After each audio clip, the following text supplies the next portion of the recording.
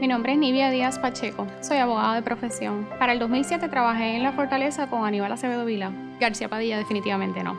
Yo era popular. He visto a Luis Fortuño su compromiso con los jóvenes profesionales, creo y estoy convencida de su compromiso con un buen gobierno.